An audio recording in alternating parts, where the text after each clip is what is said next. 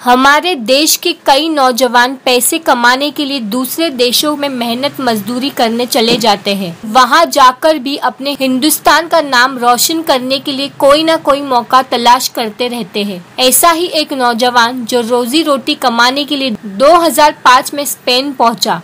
और वहाँ मेहनत मजदूरी कर जहाँ अपने परिवार का पालन पोषण किया और वहाँ उन्होंने रासायनिक विज्ञान में डिग्री हासिल की और मेहनत कर मेंबर ऑफ़ पार्लियामेंट के पद पर पहुँच हिंदुस्तान का नाम रोशन किया। स्पेन के एमपी बनने के बाद पहली बार अपने गाँव सुचानिया जिला गुरदासपुर में पहुँचे, जहाँ पूरे गाँव वालों ने पूरे जोशो खरोश में उनका स्वागत किया।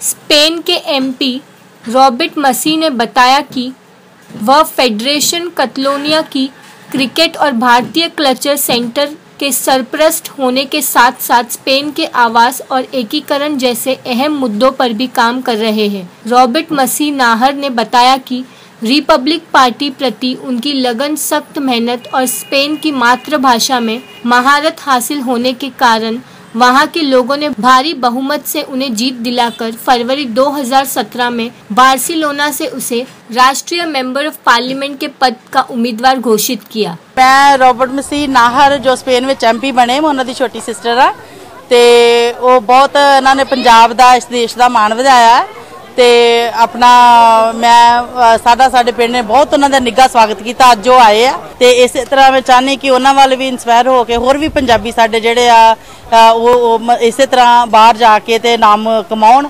ਤੇ ਤਰੱਕੀਆਂ ਹਾਸਲ ਕਰਨ। ਵੱਡੇ ਬ੍ਰਦਰ ਰੋਬਰਟ ਮਸੀਨਾਹਰ ਜੋ ਕਿ ਸਪੇਨ ਵਿੱਚ ਐਮਪੀ ਬਣੇ ਨੇ, ਉਹ ਉੱਥੋਂ ਇਲੈਕਸ਼ਨ ਜਿੱਤ ਕੇ ਅੱਜ ਘਰ ਵਾਪਸ ਆਏ ਨੇ। ਸਾਨੂੰ ਉਹਨਾਂ ਦੇ ਆਉਣ ਦੀ ਖੁ- ਆਉਣ ਦੀ ਬਹੁਤ ਸਾਰੀ ਖੁਸ਼ੀ ਹੈ। ਸਾਡੇ ਪਿੰਡ ਵਾਸੀਆਂ ਨੇ ਉਹਨਾਂ ਦਾ ਨਿੱਘਾ ਸਵਾਗਤ ਕੀਤਾ ਹੈ। ਸਾਡੀ ਸਭ ਤੋਂ ਖੁਸ਼ੀ ਸੰਭਾਲੀ ਨਹੀਂ ਜਾ ਰਹੀ, ਉਸ ਦੇ ਨਾਲ ਜੋ ਕਿ ਸਾਡੇ ਪਿੰਡ ਦੇ ਜਿੰਨੇ ਵੀ ਜੋ ਮੋਤਬਰ ਬੰਦੇ, ਜੋ ਸਾਡੇ ਸਰਪੰਚ, ਪਾਰਲੀਮੈਂਟ ਦੇ ਜਿੰਨੇ ਮੈਂਬਰ ਉਹਨਾਂ ਦੇ ਨਾਲ ਆਏ ਆ।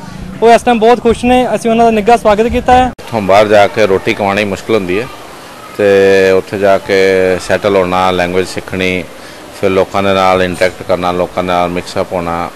ਤੁਸੀਂ ਆਪਣਾ ਕੰਮ ਛੱਡ ਕੇ ਲੋਕਾਂ ਦਾ ਕੋਈ ਕੰਮ ਕਰਨਾ ਤੇ ਉਹਨਾਂ ਦੇ ਨਾਲ ਜਾ ਕੇ ਪਾਰਟਿਸਿਪੇਟ ਕਰਨਾ ਬੜਾ ਬੜਾ ਮੁਸ਼ਕਲ ਕੰਮ ਨੇ ਸਾਰੇ।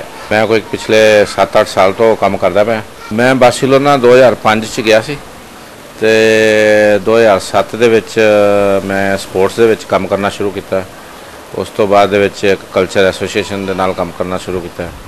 ਤੇ ਲਗਭਗ 2012 ਦੇ ਵਿੱਚ ਪਾਰਟੀ ਜੁਆਇਨ ਕੀਤੀ ਸੀ ਉੱਥੋਂ ਦੀ।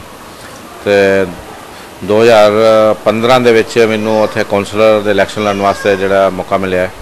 ਤੇ ਉਦੋਂ ਸਾਨੂੰ ਨਹੀਂ ਮੌਕਾ ਮਿਲ ਸਕਿਆ, ਲੇਕਿਨ ਹੁਣ ਫਿਰ ਇਲੈਕਸ਼ਨ 2016 ਦੇ ਵਿੱਚ ਹੋਏ ਦੁਬਾਰਾ, ਤੇ ਉਹਨਾਂ ਉਸ ਦੇ ਵਿੱਚ ਜਿਹੜਾ ਨਾ ਸਾਨੂੰ ਸੀਟ ਮਿਲੀ ਸਪੇਨ ਦੇ ਵਿੱਚ, ਪੂਰੇ ਸਪੇਨ 'ਚ ਸਪੈਨਿਸ਼ ਬੋਲੀ ਜਾਂਦੀ ਹੈ, ਫਿਰ ਜਿੱਥੇ ਜਿਹੜੇ ਰੀਜਨ 'ਚ ਸਾਡੀ ਪਾਰਟੀ, ਮਤਲਬ ਜਿੱਥੋਂ ਅਸੀਂ ਇਲੈਕਸ਼ਨ ਜਿੱਤੇ ਆ, ਉੱਥੇ ਉਹ ਸਟੇਟ ਦਾ ਨਾਮ ਕਤਲੋਨੀਆ ਹੈ, ਤੇ ਕਤਲਾਨ ਭਾਸ਼ਾ, ਉਹਨਾਂ ਦੀ ਵੱਖਰੀ ਭਾਸ਼ਾ ਹੈ, ਉਹ ਸਿੱਖਣੀ ਪੈਂਦੀ ਹੈ, ਇਸ ਕਰਕੇ ਜਿਹੜਾ ਟਾਈਮ ਲੱਗਦਾ ਸਿੱਖਣ ਦੇ ਵਿੱਚ, ਲੇਕਿਨ ਜਿਹੜਾ ਬੰਦਾ ਕੋਸ਼ਿਸ਼ ਕਰੇ ਸਿੱਖ ਸਕਦਾ ਹੈ।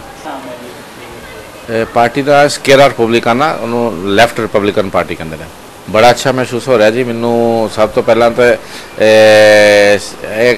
ਇੱਕ ਤੇ ਖੁਸ਼ੀ ਹੈ ਕਿ ਮੈਨੂੰ ਮੌਕਾ ਮਿਲਿਆ ਲੋਕਾਂ ਵਾਸਤੇ ਕੰਮ ਕਰਨ ਦਾ, ਦੂਸਰਾ ਮੈਨੂੰ ਇੱਕ ਪੂਰੀ ਕਮਿਊਨਿਟੀ ਦੇ ਉੱਤੇ ਮਾਣ ਵੀ ਹੈ, ਜਿਹੜੇ ਲੋਕ, ਲੋਕਾਂ ਨੇ ਸਾਡੇ ਨਾਲ ਉੱਥੇ ਸਾਥ ਦਿੱਤਾ ਹੈ।